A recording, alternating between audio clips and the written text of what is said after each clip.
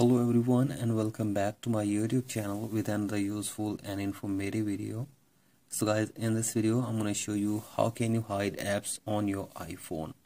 So guys if you want to hide apps on your iPhone here I will show you how can you do this.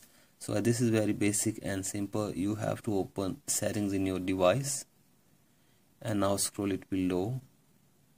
Tap on screen time and from here scroll it below tap on lock screen time settings and set a screen time passcode from here.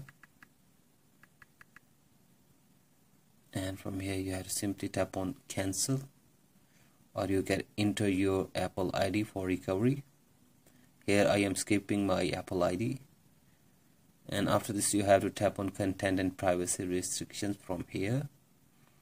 And from here tap on content restrictions enter your screen time passcode.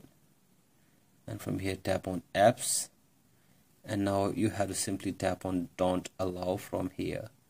So guys check this to don't allow. And after this go back to your home screen. And here you will see that your apps will be hidden. So guys here you can see this.